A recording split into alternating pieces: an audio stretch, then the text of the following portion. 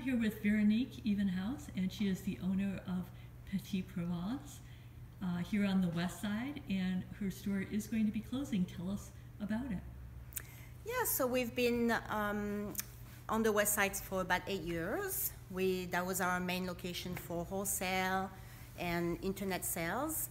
We turned this location into a small second retail location for, because our rent went up about 40% two years ago, so we decided to make up for it by opening a second location. Unfortunately, it hasn't worked out just because we don't have the traffic that we were hoping for. So um, we're closing this location, um, including our wholesale and manufacturing business. We are keeping our uh, retail location in Capitola, but this location is closing. Sadly enough, our last day will be um, May 15th. So if you want to get great deals, come on over and, um, and help us move inventory. All right, thank you very much. More in the Santa Cruz Sentinel. Thank